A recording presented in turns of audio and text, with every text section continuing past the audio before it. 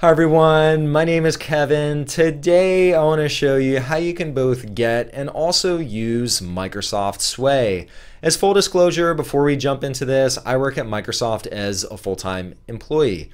First off, what is Microsoft Sway? Well, Microsoft Sway allows you to create visually stunning documents, presentations, newsletters, and communications in a matter of minutes. Now, I've been playing around with Sway, and I'm by no means a designer, and I added some content in, and I was able to make it look gorgeous in just a matter of moments. So if I could do it, you could certainly do it as well. Now, one of the best parts about Sway is that it's entirely free. It won't cost you anything to use. And there are two different versions of Sway. You could either use it on the web. There's also a Windows app, but the Windows app simply serves as a container for the web version of Sway. So whichever one you use, you'll get the exact same functionality. Today I'm going to show it on the web and show you how to get started with it. Well, instead of me describing and explaining what Sway does, why don't we jump on the PC and first off I'll show you how you could get it and then I'll show you how you could use it. Here I am on my PC, and to get Microsoft Sway, let's head to the website office.com. Once you land on office.com, click on sign in. When you click on sign in, this will drop us on the sign in screen. And if you already have a Microsoft account, you could go ahead and type it in here and then sign in. If you don't have an account yet, you could create one. Creating a new account is entirely free. It's not going to cost you anything. So once you either create an account or you sign in, the next thing that'll happen is you'll land on the authenticated page of office.com. On Office.com, not only are we going to get to Sway from here, but you also get all of these other productivity tools as well. You get Outlook, you get free uh, cloud storage space with OneDrive, you get Word, Excel, PowerPoint, OneNote, you get all of these different apps. Now, one thing you might notice is Sway is not part of the initial set of apps here. To get to Sway, we need to click on All Apps, and then there's an option here that says Sway. Another way that we can also get to Sway, regardless of where you happen to be in the Microsoft 365 ecosystem, you could go up here in the top left hand corner, click on the app launcher or the waffle menu, and here too, click on all apps, and then you also will see an option for Sway here. So either way you go will get you into Sway. I'll go ahead and click on Sway here. This drops me on the Sway homepage and I see a very nice message here welcoming me to Sway. I want to walk through what some of the capabilities are on the Sway start page. So first off, you have the option to create a new blank Sway, and we're going to do that in just a moment. So this allows you to start from a blank canvas. Now you also have the option to start from a topic. If I click on that, you could type in whatever the topic is, and it'll pull in data from Wikipedia to help you get started on a Sway. And the third option here is you can also start from a document. So let's say you have a Word document, a PowerPoint, or a PDF. If you click here, you can upload that into Sway, and then you'll start from that. As I look down on the start page, I also see this section here that says My Sways. This is where I can see any of the sways that I've worked on before right here. I could also see sways that I've viewed, so maybe not necessarily sways that I've created, but maybe, you know, a coworker or a classmate of mine created a sway, and I can get back to that as well.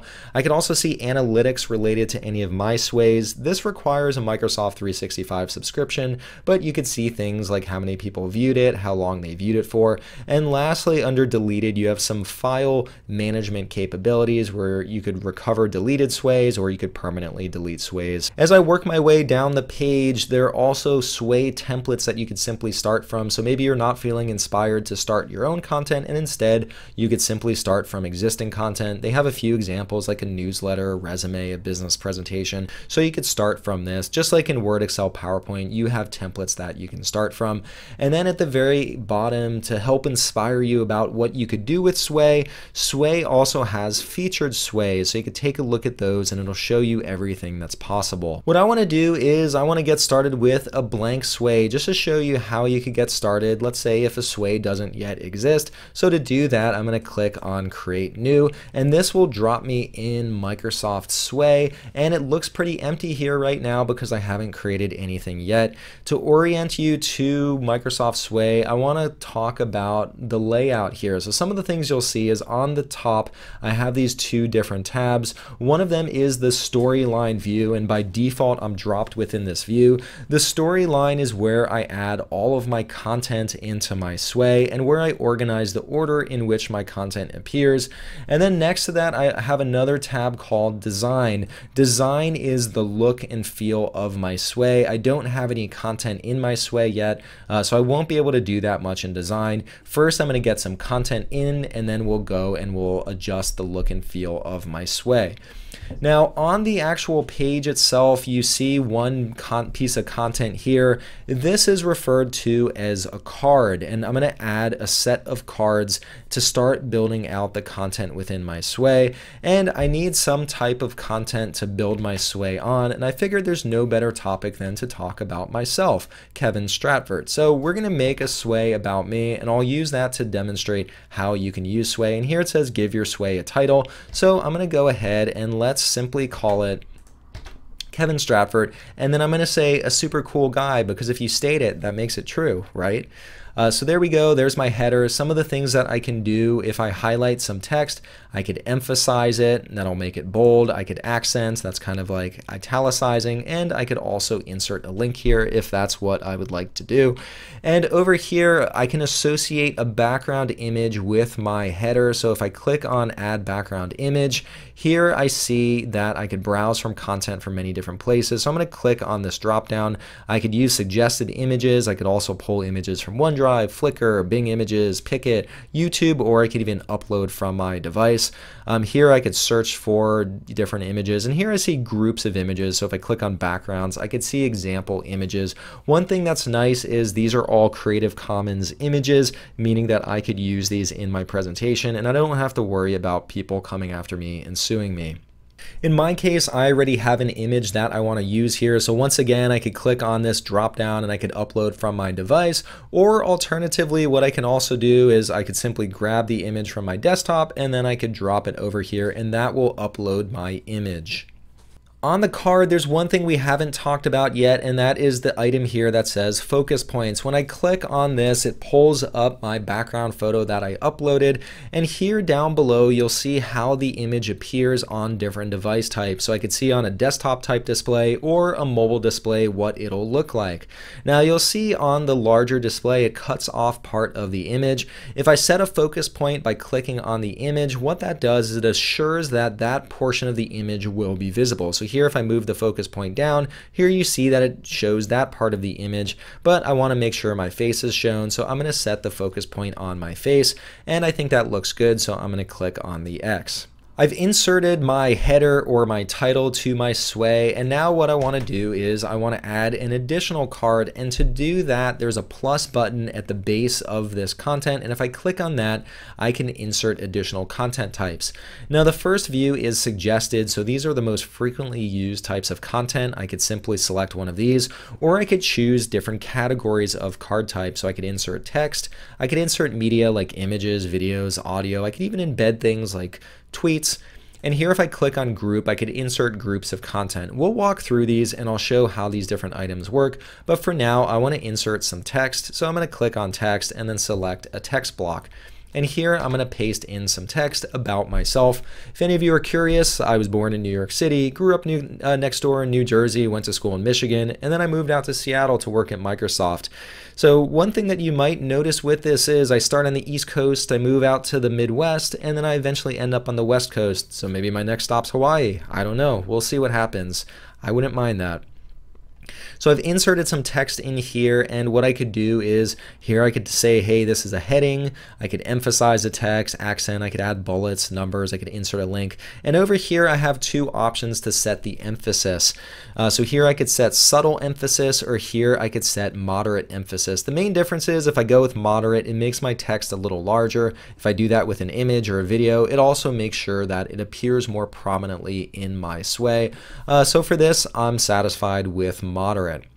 Now what I want to do next, let me click on the plus again and I'm going to insert, let's say an image. And here too, what I'm going to do is I'm simply going to drag and drop an image to upload it. And maybe I'm going to insert some text alongside my image. And this image is going to be, and you'll see in a moment, it's a picture of me next to a gimbal uh, and what a gimbal allows you to do is you can get stabilized video using it. And so here it is. And once again, I could click on focus points. And here you'll see on the larger screen, my head is cut off. So I'm going to click on my head and maybe I'm going to click on the camera as well, just to ensure that both of those are shown within the image. And I'm satisfied with this, so I'm going to close it out. I'm going to click on the plus again and let me add a heading now. And within the heading, maybe I want to call this how I ended up at Microsoft.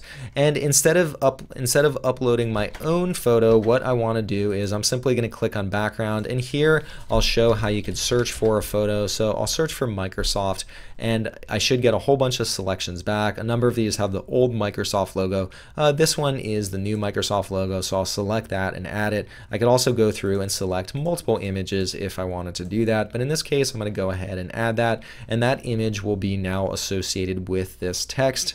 So the next thing I want to do is part of this heading, maybe for this header, how I ended up with Microsoft, it might be nice to have a video go along with that. So I'm going to click at the base and I'm going to go to media, video, and then here what I can do is if I click on this drop down, I could insert, let's say a YouTube video. And so what I'm going to do here is I'm going to search for my name and I recently did a video on how I got a job at Microsoft. So I'll search for Kevin Stratvert job and here it's the first video that pops up and I could add that in and maybe I even put a caption in here as well. And here too, what I could do is I could set the emphasis. And so maybe here I'm gonna I'm gonna put down intense emphasis so it takes up a large portion of the screen.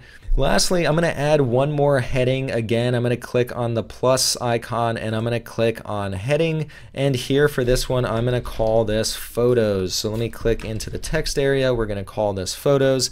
And what I'm going to do next is let's insert some text to go along with this. So I'm going to click on plus.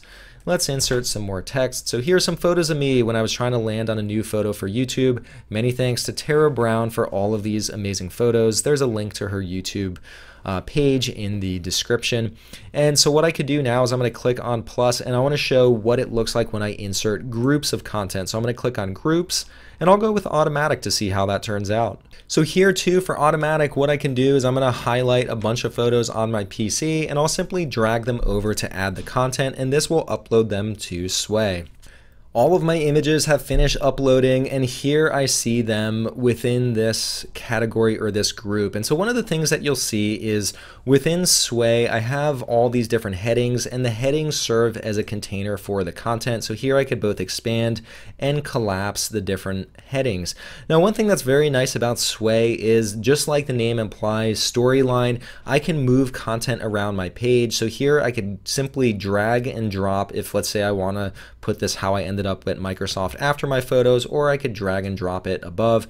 And similarly, I can also move the content within around as I see fit. So it's very easy to move your content around and get it in a flow that makes sense.